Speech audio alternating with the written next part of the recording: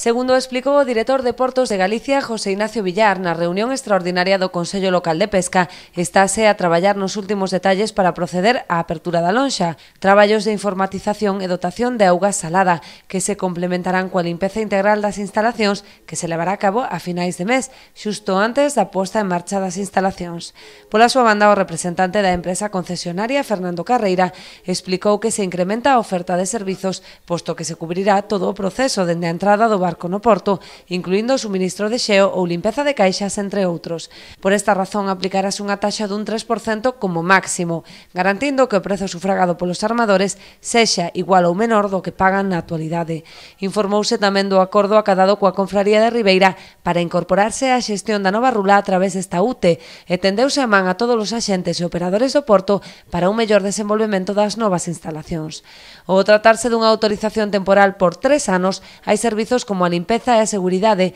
que serán prestados directamente por Portos de Galicia ata que se saque a concurso a concesión definitiva.